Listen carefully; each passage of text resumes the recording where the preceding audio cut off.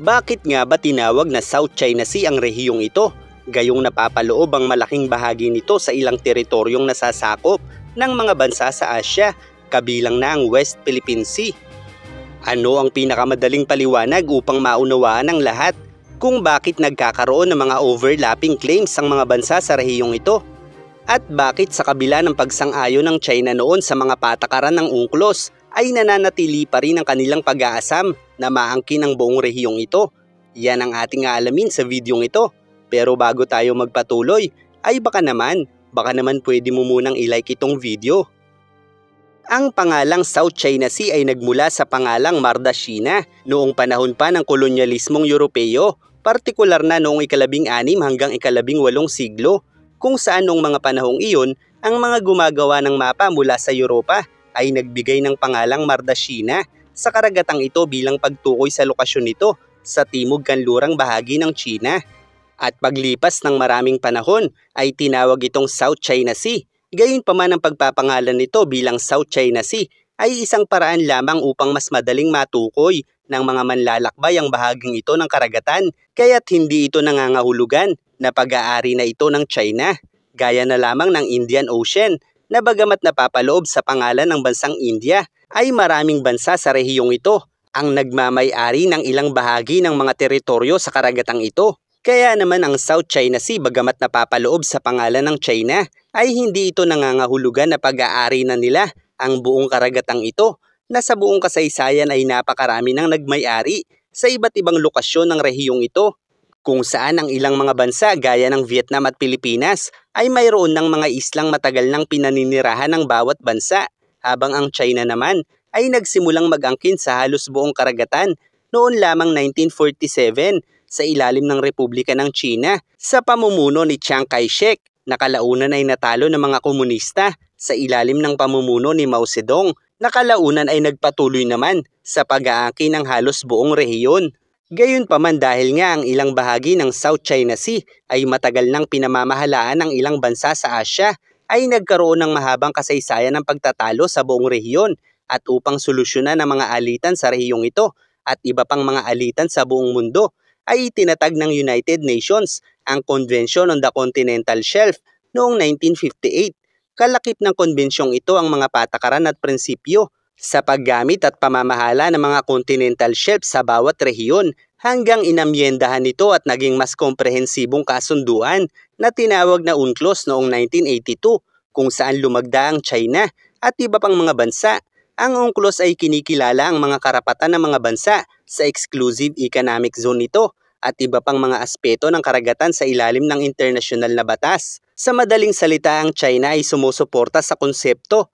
na ang bawat bansa ay may karapatan sa exclusive economic zone na may lawak na 200 nautical miles mula sa kanilang baybayin. Kaya't malinaw sa internasyonal na komunidad na hindi maaaring angkinin ng China ang kabuuan ng South China Sea na naging dahilan sa pagkatalo nito sa arbitral tribunal laban sa mga bansa sa Asya kabilang na ang Pilipinas. Gayon pa man ang pagtatalo sa exclusive economic zone ng ilan pang mga bansa gaya ng Vietnam at Pilipinas ay humantong sa pagkakaroon ng mga overlapping claims dahil sa maraming kadahilanan. Isang halimbawa ang ilang pag-aari ng Pilipinas sa West Philippine Sea ay lumagpas na sa exclusive economic zone ng Pilipinas gaya ng Pag-asa Island na may layong 244 nautical miles mula sa baybayin ng Palawan Gayunpaman ang Pag-asa Island ay isa sa mga grupo ng mga islang binili noon ng US Espanya sa naganap na Treaty of Washington noong 1900 na nagtatakda ng hangganan ng Pilipinas.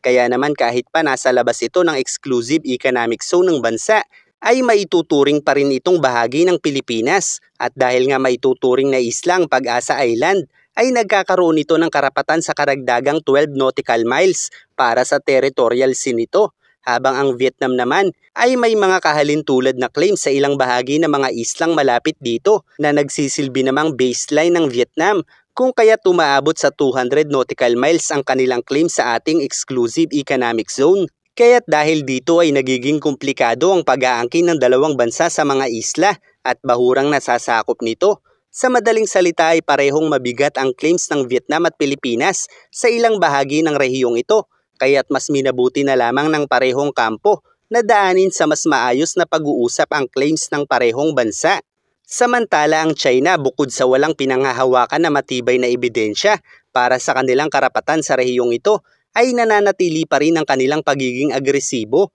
at kahit pa halos nagpakatuta na ang dating Pangulo ng Pilipinas sa kanila ay patuloy pa rin ito sa pangaharas ng mga Pilipino. Kaya't ang tunay na balakid sa kapayapaan ng rehiyong ito ay ang China lamang mismo. Kaya't hindi sila maaaring gumamit ng armadong pag-atake laban sa mga Pilipino, maliban na lamang kung aatakihin natin sila sa paraang mapangangatwiranan nila na tayo ang nag-umpisa. Gayunpaman kung mauuwi man sa digmaan ng dalawang bansa, ay wala pa rin kikilala sa claims ng China dahil nga kaisa sila sa UNCLOS sa pagkilala ng exclusive economic zone ng bawat bansa sa mundo. Kaya't ang tanging magagawa lamang nila upang maangkin ang West Philippine Sea ay ang mapasunod ang ating gobyerno sa kanilang mga gusto dahil kung kusang loob nating isusuko ang ating karapatan sa mga islang ito ay magiging makatarungan para sa China na pamahalaan ang ating teritoryo. Kaya't pananakot at panghaharas lang ang ginagawa nito dahil wala silang makukuha